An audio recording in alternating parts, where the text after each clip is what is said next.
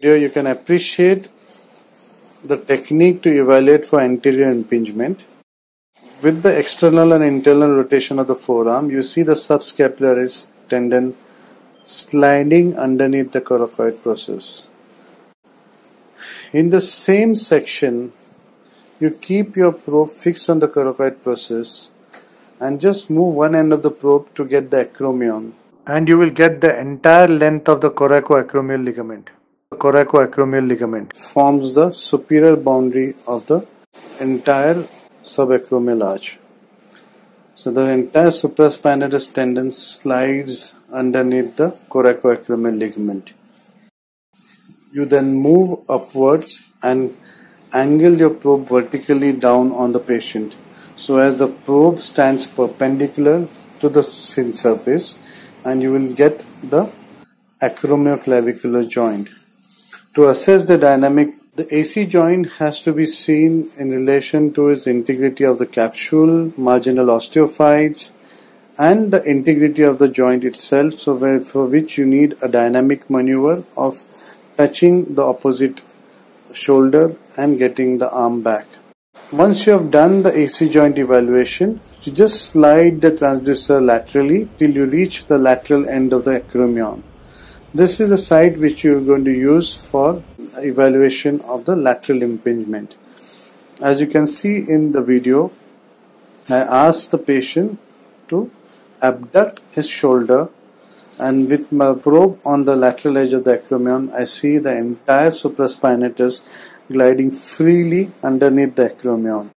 If there is any impingement, there would be fluid, also there would be buckling of the tendon fibers and inability of the tendon to slide underneath the acromion.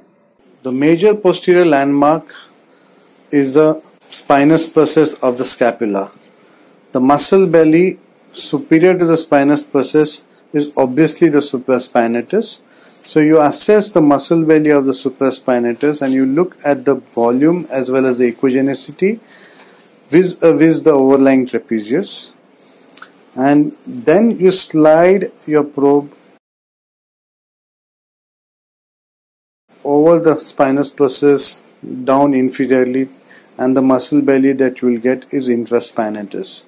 So as you move your probe towards the shoulder joint, you see that the tendon forms close to the lesser tuberosity and as it inserts onto the lesser tuberosity, you can elongate your probe and get the entire tendon in longitudinal axis as it sort of inserts onto the posterior aspect of the greater tuberosity. In the same setting, if you just move your probe slightly medially, you see the posterior glenoid labrum and this is where you would assess for the posterior impingement. You ask the patient to keep the hand on the opposite shoulder and then try and get it back to its normal neutral position.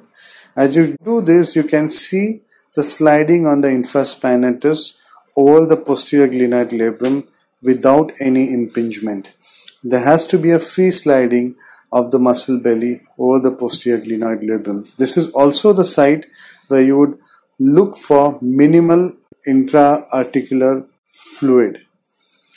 If you see a separation between the glenoid and the humeral head, then you will appreciate minimal amount of fluid in this section. If you move your probe slightly medially and superiorly, you will get the spinoglenoid notch. This is especially useful when you have wasting of the muscle fibers and you have to evaluate for compressive neuropathy and hence the easiest way is identify the posterior glenoid labrum and move your probe superiorly as well as medially till you see the depression in the bone and you appreciate the artery and the nerve within the spinoglenoid notch.